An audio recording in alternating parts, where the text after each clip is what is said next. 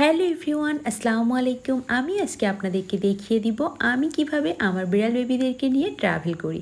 তো আমি গ্রামের বাড়িতে বেড়াতে যাব আর ওদেরকে সঙ্গে নিয়ে যাব। ওদেরকে রেখে যাওয়ার আসলে কোনো প্রশ্নই আসে না। কারণ ওরা আমার নিজের সন্তানের মতো আদরে তো ওদেরকে কোথাও রেখে যেয়ে আমি কোনোভাবেই ভরসা পাই না, তাই আমি ওদেরকে আমার সঙ্গেই নিয়ে যাই।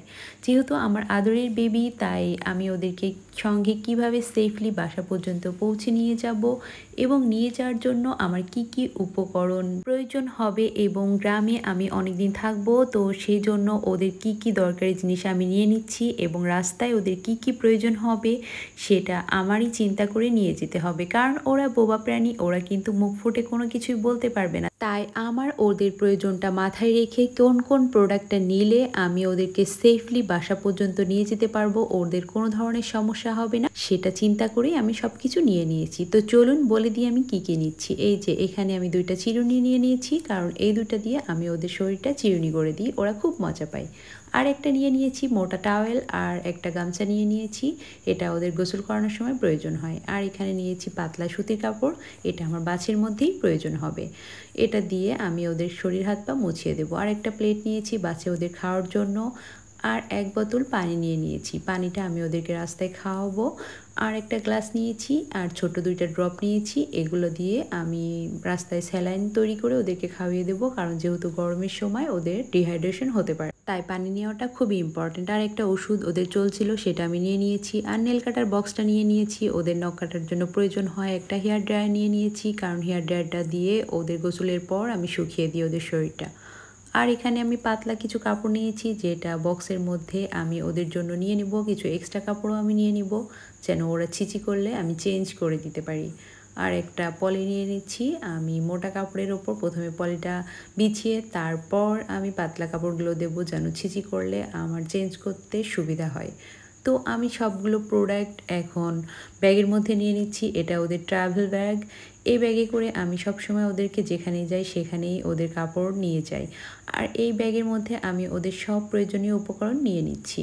যেহেতু নিজের বাড়িতেই যাচ্ছি, তাই যদি কোনো কিছু মিচিং হয়, আমি মেকআপ করে নিতে পারব। তবে আমার মাথায় এই মুহূর্তে যা যা এসেছে আমি তাই নিয়ে নিচ্ছি।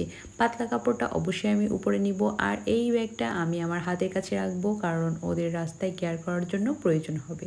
আমি স্যালাইনটা এই জন্য নিচ্ছি, কারণ অনেক গরম, তাই ওদের শরীরটা উইক লাগলে আমি স্যালাইন তৈরি করে নিজেও খাব এবং ওদেরকেও খাইয়ে দিব।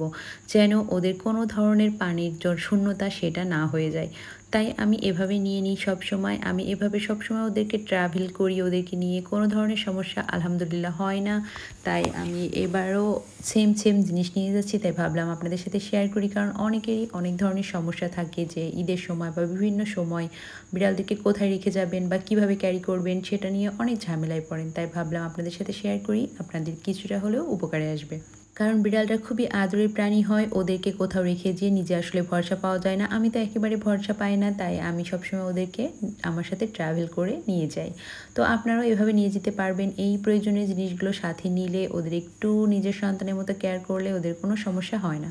আর এটা আমি খাবার নিয়েছি এয়ারটাইট বক্সে এটা রাস্তায় ওদেরকে আমি খেতে দিব। রাস্তায় ওরা খুব বেশি খাবার খায় না তারপরও আমি নিয়ে নিচ্ছি, কারণ ওরা অল্প অল্প একটু খাবে, বেশিক্ষণ না খেয়ে থাকলে কিন্তু ওরা একেবারে উইক হয়ে যায়। তাই আমি খুবই অল্প পরিমাণ খেতে দেবো, যেহেতু পি পটির একটা প্রবলেম থেকে যায়, তাই রাস্তায় খুব বেশি খাবার আমি দিব না। দেখুন, ছোটটা এই যে ইলিশ মাছের গন্ধ পেয়েছে, তাই সে একেবারে লাফা লাফাচাপা শুরু করেছে, এখনই আমাকে খেতে দাও।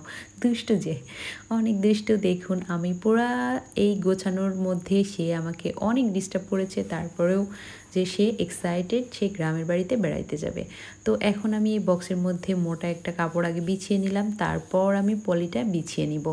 এরপর আমি পাতলা কিছু কাপড় বিছিয়ে নিব, তারপর ওদেরকে আমি বসতে দিব। কারণ ওরা যদি ছিচি করে ফেলে, ওরা পটি করে না। আমার আগের অভিজ্ঞতা থেকে বলছি, ওরা পটি করে না, রাস্তায় ওরা ছিচি করে দিতে পারে এক দুইবার তাই আমি এক্সট্রাভাবে কিছু পল নিয়ে নিচ্ছি আর ওদেরকে নিচ্ছি। এই যে ঢুকিয়ে দিলাম, কেমন লাগছে টুকু সোনা? দেখো। তো টুকুস বেবি তো অনেক বেশি এক্সাইটেড ও ভাবছে অনেক মজা, কিন্তু অতটাও মজা না।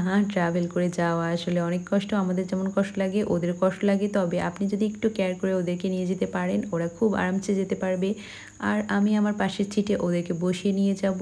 ইনশাল্লাহ কোনো ধরনের প্রবলেম ফেস করব না। তো আপনাদের কাছে ভিডিওটা কেমন লাগল? ভিডিওটা ভালো লাগলে অবশ্যই আমার চ্যানেলটা সাবস্ক্রাইব করে দিবেন লাইক এবং কমেন্ট করে পাশে থাকবেন। আজ এই পর্যন্তই। আল্লাহ হাফিজ।